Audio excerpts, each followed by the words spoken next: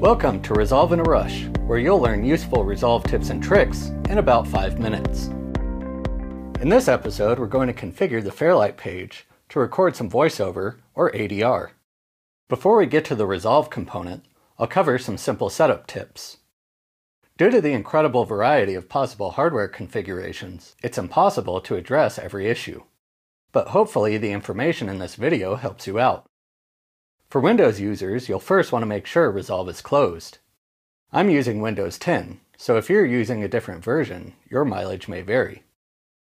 Right-click on the volume control in the taskbar at the bottom of the screen, and choose Recording Devices. Then scroll down to the microphone input for your computer. If you're using an audio interface, make sure it's set as the default recording device. On this computer, it's the Zoom H-Series multi-track device. Select your input source and click Properties. Then click on the Advanced tab. In the Default Format section, make sure whichever input is selected has a sample rate of at least 48,000 Hz. With that done, click OK. Then open DaVinci Resolve.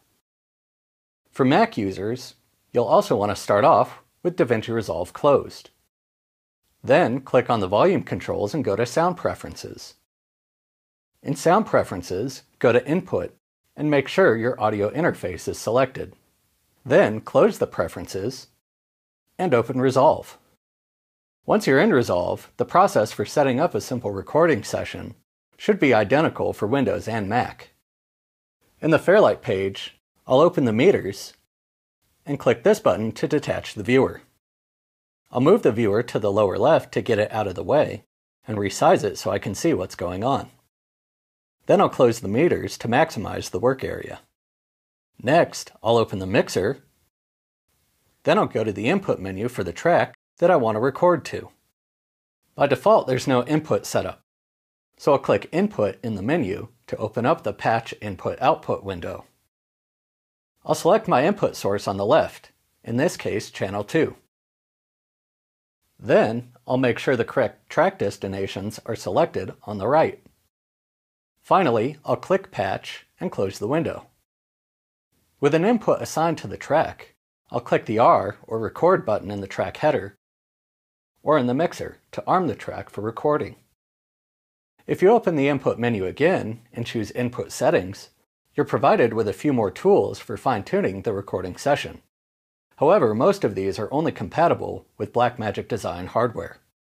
I'll close this window. Now the last step is to hit record in the transport controls and record your VO. I watched a snail crawl along the edge of a straight razor. That's my dream. It's my nightmare. Crawling, slithering along the edge of a straight razor and surviving.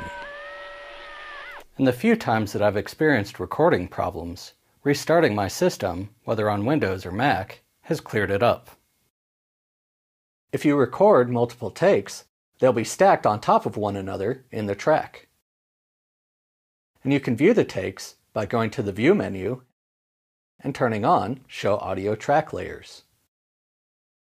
This now makes it easy to assemble a composite of the best parts of each take. This is just a quick introduction to recording VO and ADR in Resolve. I watched a snail crawl along the edge of a street. There's a lot more functionality to the Fairlight page, and since it's a new feature in Resolve 14, there's still much to be discovered and explored.